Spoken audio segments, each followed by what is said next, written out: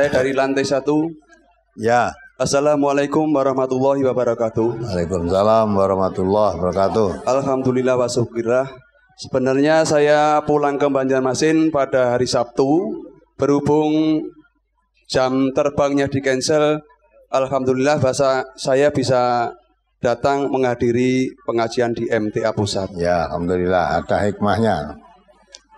Ini yang perlu saya tanyakan. Mohon dikenalkan dulu namanya. Saya dari Edi Banjarmasin, Teluk Dalam. Yang saya tanyakan ini pada edisi 21 Januari tahun 2018. Apabila salah ataupun belum lurus tolong diluruskan. Yaitu tentang bila dipuji seseorang jangan kau ucapkan Alhamdulillah. Itu akan menimbulkan riak Lalu bagaimana kita mengucapkan atau menyikapi tentang hal tersebut di atas? Maka dari itu mohon penjelasannya dengan Pak Ustadz.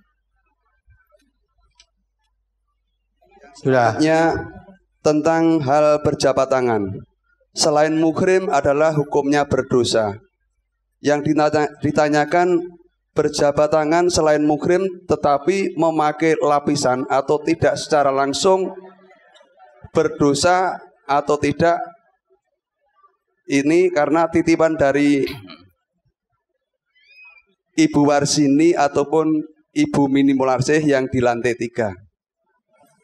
Yang selanjutnya, saya pernah mengamati di Mekah, baik haji ataupun umroh, ataupun di wilayah, di wilayah saya, yaitu pada hari Jumat atau subuh, itu dilaksanakan sholat subuh tapi dengan adanya sujud sajadah. Sujud Waktu apa? Sujud sajadah. Waktu sholat subuh di hari Jumat.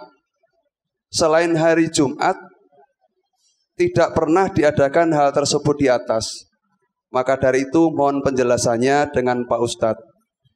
Pertanyaan yang terakhir, saya pernah mendengar bahwa bila doa dikabulkan oleh Allah Subhanahu wa taala habis sholat wajib berzikir tidak boleh batal tidak boleh pindah tempat tidak boleh disela ataupun bicara dan itu akan diamini oleh malaikat.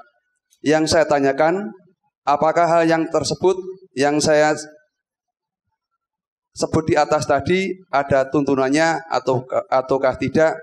Mohon penjelasannya dengan Pak Ustadz. Mungkin hanya itu yang saya tanyakan.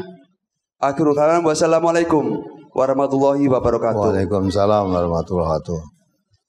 Jadi sikap yang harus diambil untuk tuntunan menurut Nabi ya, kalau kamu dipuji-puji orang oleh Nabi bukan suruh baca alhamdulillah, tapi suruh apa? Taburkan pasir di bukanya orang yang memuji-muji itu.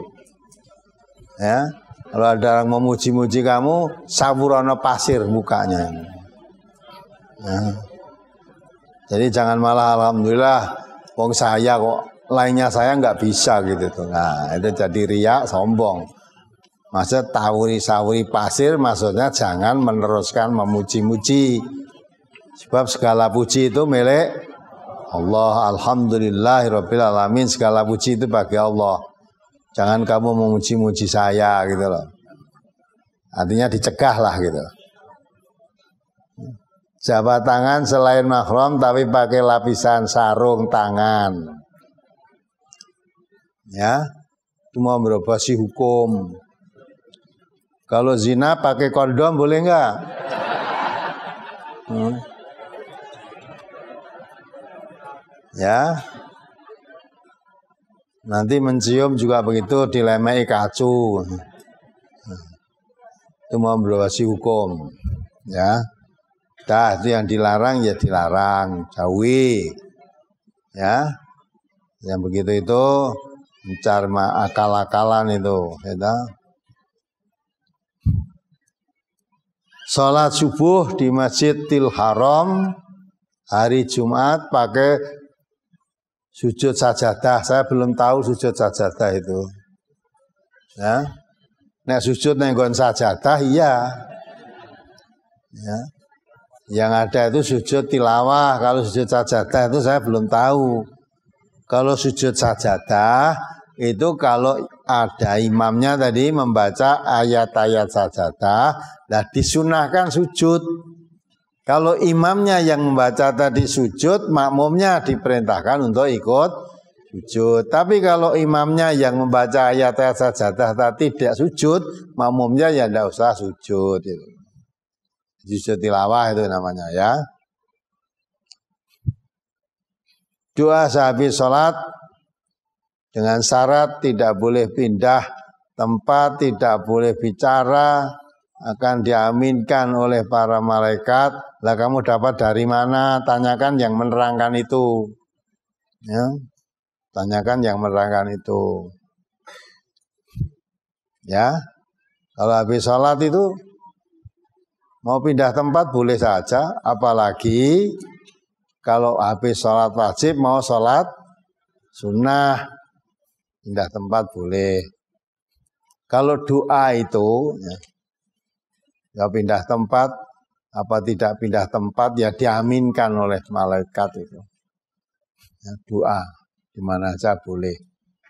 Ya, nah itu kalau itu keterangan seperti kamu tidak boleh cara, nggak boleh pindah tempat, nggak boleh batal, ya itu akan diaminkan oleh malaikat. Yang seperti itu saya belum tahu. Tanyakan saja yang menerangkan tadi